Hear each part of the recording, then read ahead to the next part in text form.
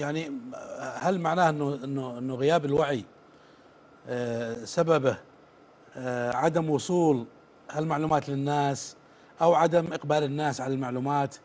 يعني ما أدري وش اللي ممكن نحددها فيه. طبعا آه، الوعي يبدأ من البيت. حلو. الوعي يبدأ من البيت. فإذا كان ال- الوعي مفقود في المنزل فهي مشكلة لأنها ت- تبدأ تنتقل من جيل إلى آخر. يا سلام. تنتقل من جيل إلى آخر.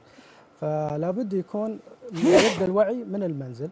فمثلا أيوه مثال أنا إيه، بقول لك مثال. مثلا إيش الأساليب مثلا ممكن يتخذها الوالدين عشان بس مثلا يوعون أبنائهم؟ حلو. عندك أول شيء الحصالة. جميل. تمام. الحصالة حطها مثلا وتعالوا يا شباب. تبون تروحون الملاهي؟ خلاص. عبوا هنا اذا وصلتوا 100 ريال نبي نروح الملاهي. وانت بعد كأب أو برضو الأم يورونهم مثلا يجون يشاركون معهم برضو فيأخذون مثلا يحطون مثلا أو مبلغ بسيط بس قدامهم عشان يبدون يتحمسون خمسة وي- ريال بعشرة خمسة ريال كذا. 10 ريال اللي هو. آه فهذه الحصالة هذا تبدأ بعمر يعني صغير جدا.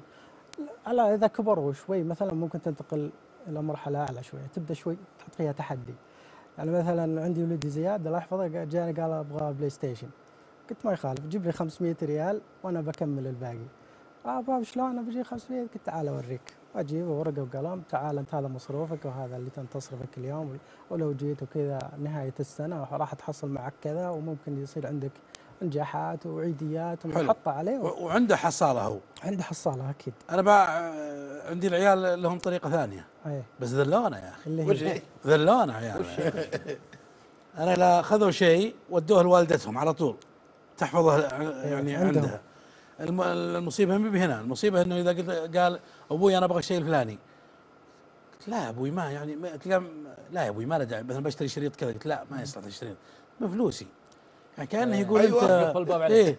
إيه لا وش يقفل الباب علي كأنه يقول لي يعني ترى لا تكتب علي يعني إيه، أنا. بشتري بفلوسي حقي، تعبي إيه. ذا. إيه ثم ارجع أقول له شوف يا حبيب قلبي الفلوس بعطيك إياها الآن أنا بس ما تشتري ذا الشريط. كان قلت له راح لأمك راح. لأن أنا ما تهمني الفلوس بقدر ما يهمني أنت ومصلحتك أنت. سلام. إيه لا ليه لا فعلا يذلك أحيانا. تعال عطني وش اللي عنده 200 ريال 300 ريال يذلنا عليها.